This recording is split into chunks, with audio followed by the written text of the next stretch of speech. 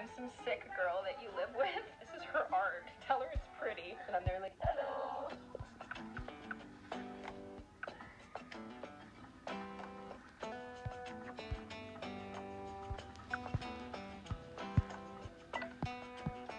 Okay, literally, I I have to wash my hands. So, this might be it.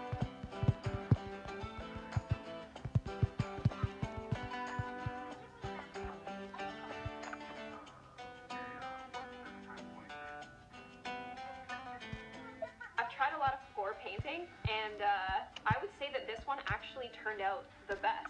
And I want to try it again. I just wish that I concentrated more color in the top of the mop, and I wish that I spun it more slowly. But for something that was so easy to do, I think that it worked out really well. And I'm like proud of this, and I'm gonna hang it up.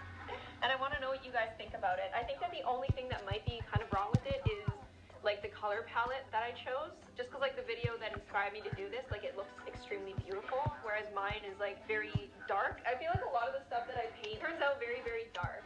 But this was like a really fun thing to try. The place where we did the painting turned out to be the true art piece. What are we gonna call it? Bullseye. The electric Pokeball. Look at the way those blacks flow into the greens, flow into that river of blue. Oh, why can't I ever do something like this on purpose? Hey Terry, I'm here too, you know. Did I do good? Maybe. Be cool if we had a big enough canvas for like sandwich on top of it. Oh, oh. Yeah, if we like dipped a, if we like put a canvas on top of it and then took the canvas Fifty. and then kept it. I hope you guys enjoyed this video. Make sure you hit push notification. Enjoy feeling good. And I'll see you guys on the next one. Bye. Listen. You're more than your successes. Hmm. You're more than your failures. You're the work. It's dirty work. Work that hurts. Work that defines you. It's that fire that burns inside you. Happy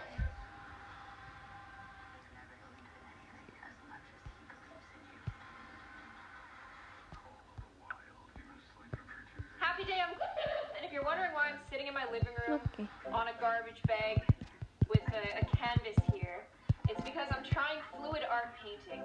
Okay, I saw a really cool video and I really want to try it. So I have two measuring cups. Very cool. And I have four paint colors. These are acrylic paints. I feel like such an artist. I'm like an at-home Bob Ross right now. And I really just hope that this looks beautiful and amazing and that you guys are gonna be like, wow, this is like true art, man.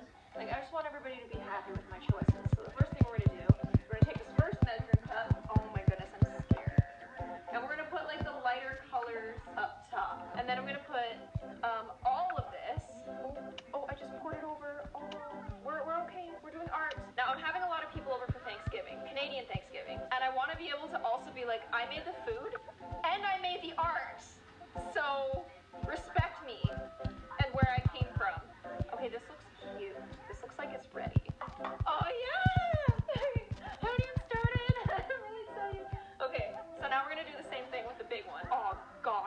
jeez, oh gosh, oh jeez. You're supposed to mix acrylic paints 24 hours in advance, but I just really wanted to make my art Dirty now. Mexican. I need to let my artistic expression out now. But Oh, uh, yeah. Y'all. Okay, there's the second one.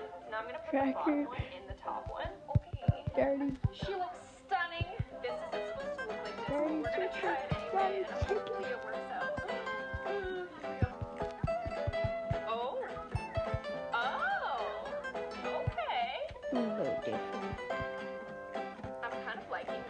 this. I noticed the person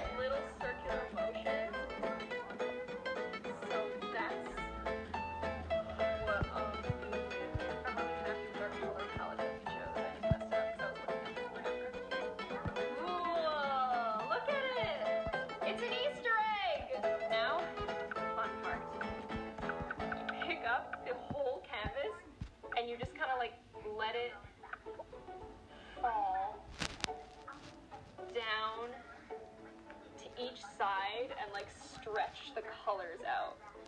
I gotta like tip it this way, so you might want to come on the other side. Oh, oh, oh. Okay, I like it. Like I feel like.